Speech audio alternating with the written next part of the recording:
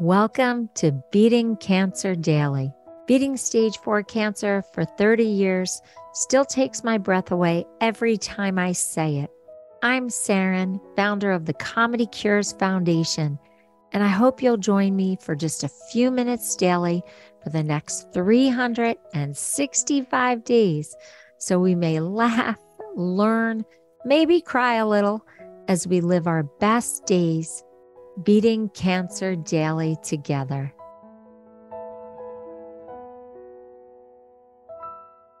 Having aggressive cancer actually taught me how to ask for help. I wonder how many of you have a hard time asking for help. I wonder how many are like me, the person who does everything for everyone and likes it actually. I actually really like doing everything for everyone. I like being a caretaker. But I also know that when my cancer brought me to my knees, I had to ask for help. And boy, that was not easy. You can ask the people who were trying to help me. I was, you know, brave and I was a warrior and I could do it all until I couldn't. And then I had to learn to ask for help. And I have to tell you, I, you know, I've beaten stage four cancer. I've been cancer free, thank God, for over two decades. I don't easily ask for help, but at least I developed the muscle of how to ask for help. So today, what I want to do is start your cancer delegation list. Now, what do I mean by that? Cancer delegation list. A wise life coach, a friend, Ed Bulkey. You can find him at edbulkey.com. He's like a life coach to the powerful, powerful. So Ed and I have become friends, and he is definitely a mentor, and we really enjoy speaking with each other. And one day he said something to me that was very simple, but changed my life. And that was Saranne should do what only Saranne should do. Okay. Well, a lot of us don't have a long list of people to delegate to you might only have one. You might have a few. You might have none. But even if you don't have someone to delegate to, if you start thinking like this, it really helps you prioritize your day and your tasks. So, by saying that over and over again, I started to make a list of the things that really I needed to do. Some of them were my strengths. Some of them aren't my strengths, but the things that really I should do. I want you to sit down and I want you to make a list of all the things that you have to do. Whether you have kids, you don't have kids, you have a partner or spouse, you don't have a partner or spouse, you work, you don't work. But I want you to make a list of all the things you have to do brainstorm it, just this big old list. And then I want you to put them into priority order. Then I want you to write your name next to anything on that list that only, and I mean only, you can do. You can't delegate it. You can't pay someone to do it. You can't beg someone to do it the things that only you can do. This can be work related, home related, relationship related, neighbor related, just the things that you can do that you cannot delegate.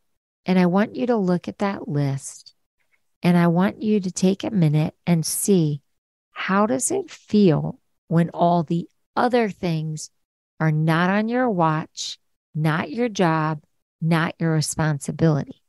Now, I didn't say this was realistic. I want you just to see what it feels like to only see the things with your name that you should do. Now, we all know that unless we're a CEO, that's probably not 100% realistic. But the thought of it is super empowering because all of a sudden I started to see all the things that I really don't have to be responsible for or touch. And those could be done by my child, by my spouse, by an assistant, by a neighbor, by a family member, a volunteer. Again, I'm not projecting that every single person has at least one other person that can help. But what I'm saying is by doing this list, it actually helps you prioritize what you should really be focusing on. And it helps you let push away things that are not essential. Now, why is this critical when you're going through cancer treatment or you're having any kind of challenge that needs your focus and need your energy? I needed my energy. I was fighting stage four cancer with nothing working as a single mom for over two plus years. So, talk about having to have energy stores. I had to be able to have energy because I was a parent and I was working and I was fighting for my life. So, this really helps you in this phase of treatment when you really have your back against the wall. It helps you really focus the energy that you need on healing and then only giving the energy that you have to give to the other parts of your day. I know it sounds like a lot, especially if you don't have people around you that can help pick up the slack, but it will give you extra space for healing. For those of you who have a deep support system, you can really start managing your life in a much freer way. And your friends and family will be happy because it will give them something to do for them to feel like they are really part of your healing and really contributing to you getting through this and getting better. For people who do not have a lot of family or friends around them for whatever reason, this is a really good opportunity to get into a support group or to look at volunteer programs like the American Cancer Society can help drive you to treatments. There's cancer care. There used to be a great organization, Why Me, who would give you a mentor who's gone through it so that you could learn a lot of strategies.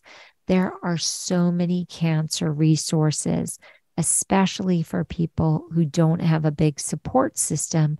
So these organizations live and breathe to help you. There are wig organizations to help you get a wig. As I said, American Cancer Society will drive you. There are organizations that can help with small stipends so that you can get some uh, caregiving care or have some expenses paid. There are lots of cancer resources, and I want you to go to the social worker where you are treating and ask for a list. You can also search online some of the major cancer organizations. If you have a wellness group like a Gilda's Club near you, these are all organizations that have lists of charities and some have volunteers who will help you through this treatment time in your life and into your survivorship. So I really want you to start thinking strategically about how you're going to free yourself up more so that you can focus on healing and be able to either push away some of the things that are lower priority or build a little bit of a support system around you there is something called Caring Bridge that you can sign up for. It is kind of like Facebook, but it can be made private and it has a lot of different tools so that you can help mobilize a support system around your treatment and get more help. And you can make your page private or public.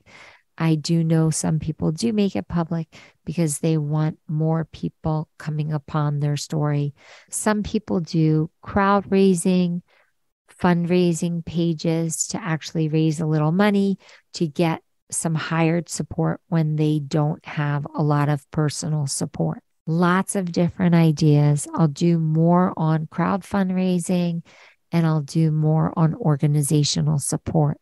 The first part of this process is that we start thinking about what is it that only you can do? And those are the things that we need to get your energy expended for right away. Love to hear how the strategy goes for you. You can go to comedycures.org and let me know. And hopefully, you'll start to free up more time for healing, more time for play, more time for joy. Have a blessed day, and I'll see you tomorrow. It was so great connecting with you today. If you'd like to connect more, go to comedycures.org and check out the Beating Cancer Daily membership levels. It is so fun to meet up with all of you at our many different events. We have live virtual Q&A sessions with me. We have live Comedy Cures comedy events, live health builder workshops with Jackie Bryan RN and myself, a robust monthly newsletter, plus much more. So just go to comedycures.org and look for the membership level that feels right for you. And don't forget, you can also give one as a gift to your patient if you're a doctor, to a friend, to a family member. It really makes a very unique and personal gift. That's comedycures.org and sign up today. Thanks so much. See you tomorrow.